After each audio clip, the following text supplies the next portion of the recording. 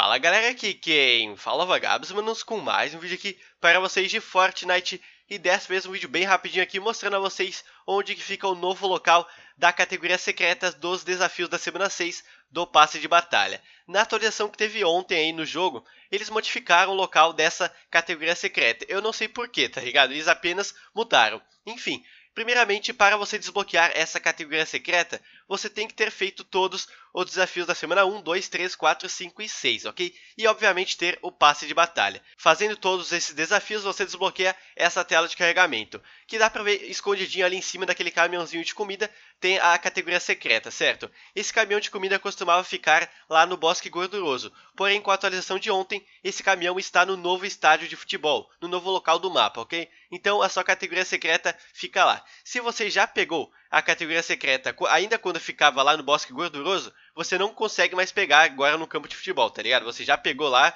já conseguiu sua categoria e é isso aí. Se você acabou os desafios agora, você consegue pegar essa categoria ali nesse campo de futebol em cima do caminhão de comida, ok? Tem um vídeo aí de um cara, porque eu já peguei a minha categoria quando era no Bosque Gorduroso, então irei deixar os créditos aí do vídeo dele na descrição, beleza? Então é isso galera, aquele abraço, se vemos no próximo vídeo, valeu, falou, espero que esse vídeo tenha ajudado algumas pessoas aí, beleza? É isso galera, valeu, falou e eu fui!